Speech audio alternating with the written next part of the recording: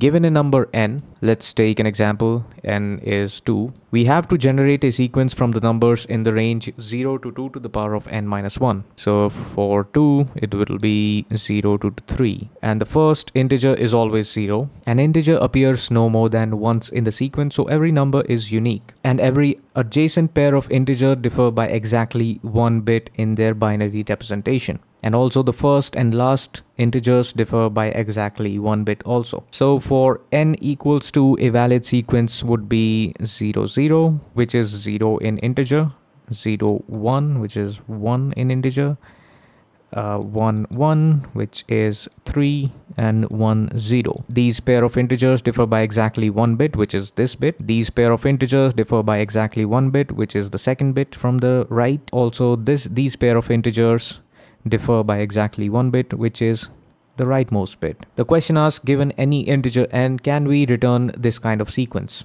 Now let's see the gray code when n equals 1. When n equals 1, the gray code is simply 0 and 1. Now I'm going to perform a simple operation here to get gray code for n equals 2. I'm going to simply copy these values as it is and copy them again but in reverse order.